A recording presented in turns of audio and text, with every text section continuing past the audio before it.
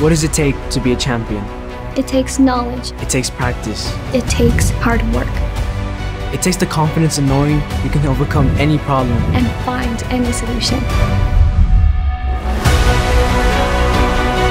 This is my chance.